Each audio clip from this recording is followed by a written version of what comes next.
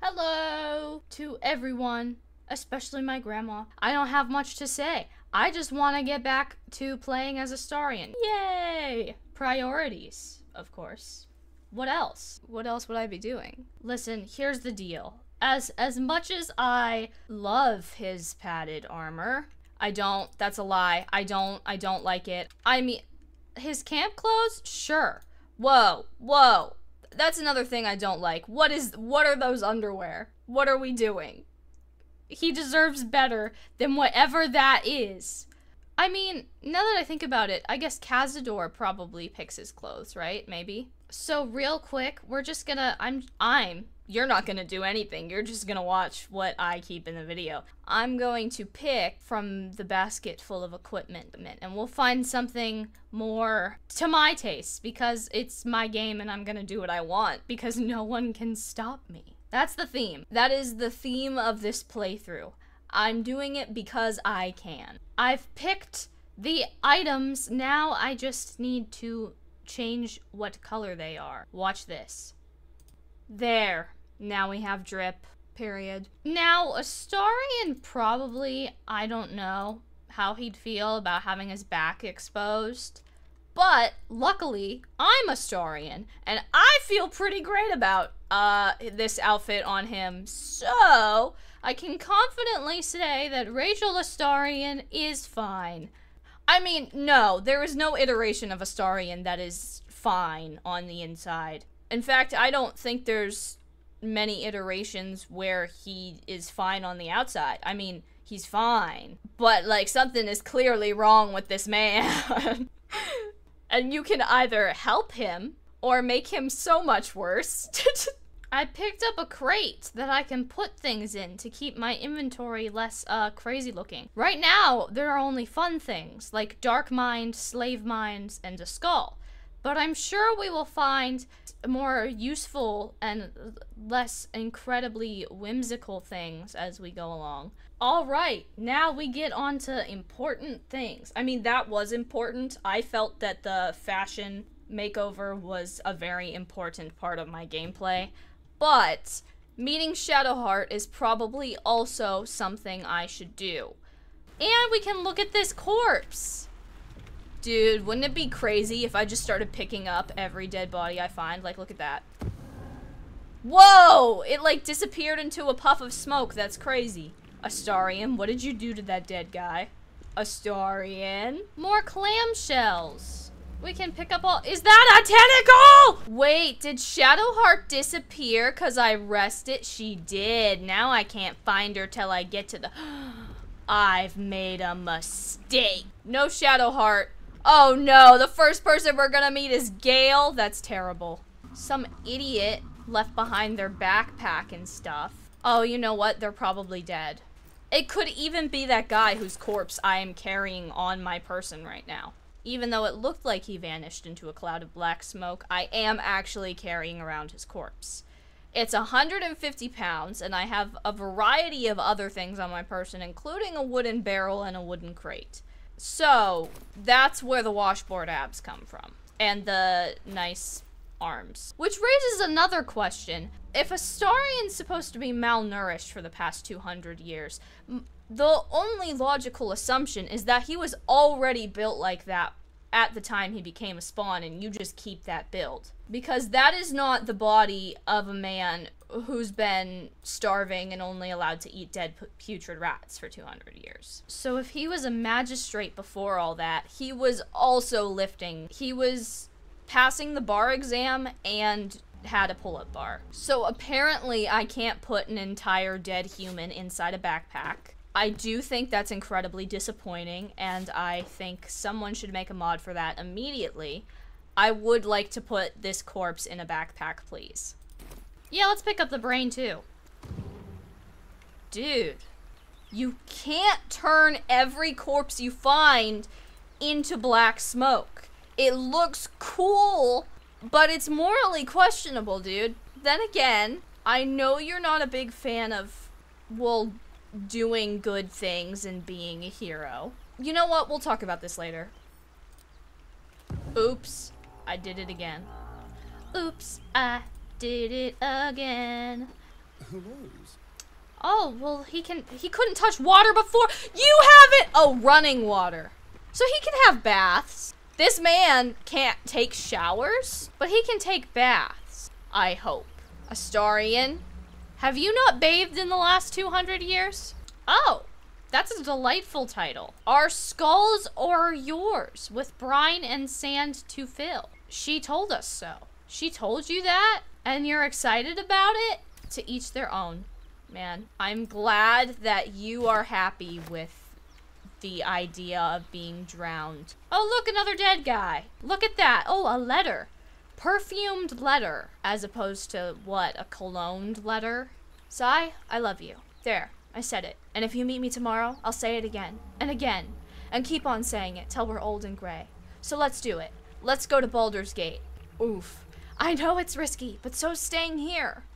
Really? The last few months have been hard, but they're always a little easier when you're there. Don't be late. Love, Anna. Well, Anna, that sucks for you. Um, I am going to actually pick up this corpse, so you will never get closer, though. I'm getting into character. Abducted commoner. I love that, like, we're including their class with their corpse. Like, this person was just a commoner. And now, they're dead. Those wretched things. Too heavy to pick up. Astarion. Now he's too weak to pick up corpses. Wait, you don't even pick them up. You just poof them into your...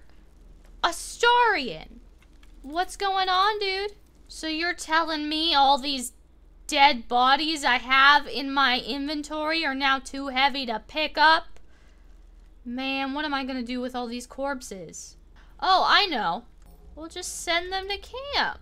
See, you can put them, you can stuff the bodies in the chest. You just have to do it manually.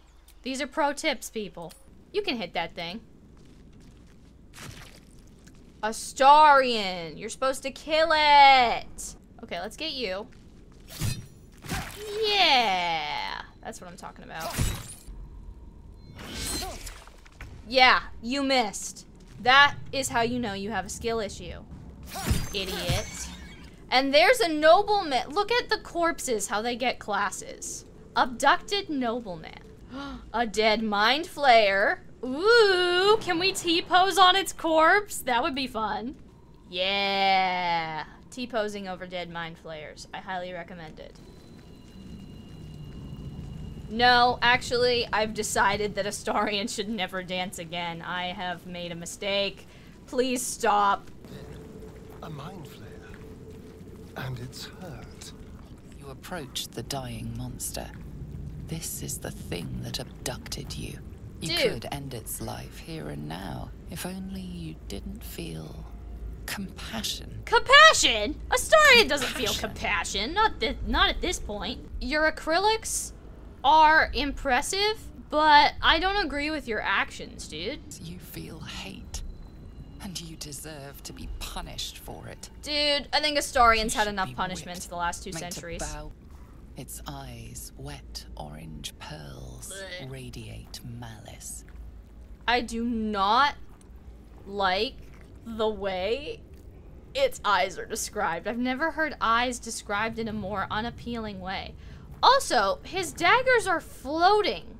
It would be kind of like revenge to leave it to die slowly, but also it would be eliminating a threat if I just take care of it now.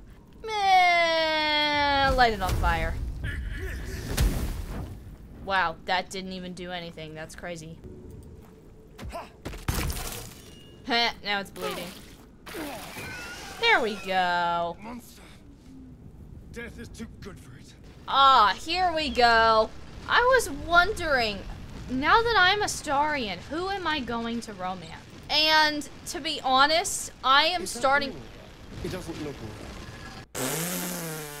Neither do you, dude, but I didn't say anything. Actually, I definitely did. I comment on it a lot, actually. You are not okay, man. Now, when I first played Baldur's Gate 3, I did not like Gale. He annoyed me, he got on my nerves, he was wizard splaining to my sorcerer. But then I realized he was actually just info dumping, and he's he's just neurodivergent and I actually I love him and I I might have to blood weave it. This might be the only way I could do Gale. I would reword that, but that's definitely a thing I can do in the game. So also, You approach the sigil on the stone. Magic glitters and swirls from it erratically, as if malfunctioning. It looks slightly dangerous. where Gale is regarded his utter lack of social awareness, his his verbosity, just the the vocabulary that man has, his cringe fail personality, and utterly swagless looks have captivated me. Is the narrator gone? Hello, narrator, ma'am, please, I need you. A hand? Anyone? I have two. Wait, that would be kind of funny.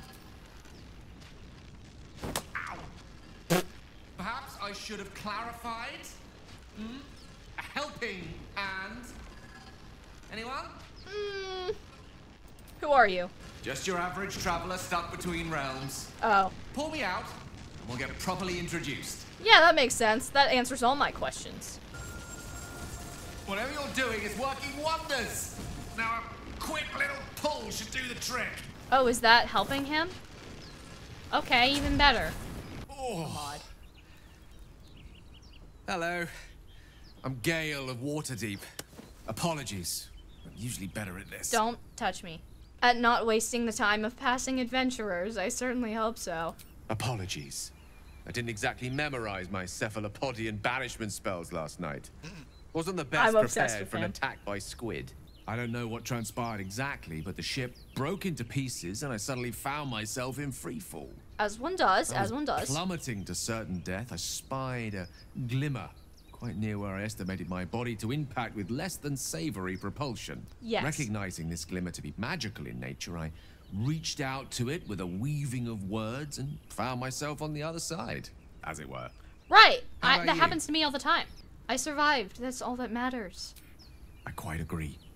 But I have the unfortunate suspicion your survival is still very much in jeopardy. Back on Watch the it, ship, wizard you boy. two were on the receiving end of a rather unwelcome insertion in the ocular region. Were you not? See, only Gale would say it like that. And I think that's a beautiful thing. Couldn't have phrased it more repellently myself. No use sugarcoating it, is there? Are you aware that after a period of excruciating gestation, it will turn us into mind flayers? He just has the saddest process known as ceremorphosis. How about we lend each other a helping hand once more and look for a healer together? Mm, I guess that's fine. But uh, you should know, you're a wizard who managed to get stuck in his own portal, and that's hardly a promising introduction. Thank you for pulling me out of that stone. It was an act of foresighted kindness, I assure you. I committed an have act of feeling kindness. Ample opportunities will present themselves for me to return the favor. You better. You're not versed in magic, are you? No, but pester me another time. There is a matter I'd like to seek advice on from a master. That's not my problem. Wait, I just realized I have the opportunity to just do something like low key kind of funny. I'm walking around in the sunlight, right? This guy, he doesn't know I'm a vampire. So it would be kind of funny if I just like took a nibble of him. Look at that stance. Your blood tastes like bile. what is wrong with you? You're one to talk? When exactly were you planning on telling me you were a vampire? Aha! Hmm, I knew it. I knew you'd try something like that eventually. Whoa! I wish you'd done it with a bit less enthusiasm. Oh! Still, I can hardly blame a vampire for being true to its nature. You are a vampire, are you not? Noted! Bite everyone when they join the party. Technically, I'm a vampire spawn. Do not undersell yourself. What? You may not have the Grand Lair nor loyal swarm, but a vampire spawn is still part of the vampire family. I don't claim them. Technically. The real conundrum here is why weren't you honest with me?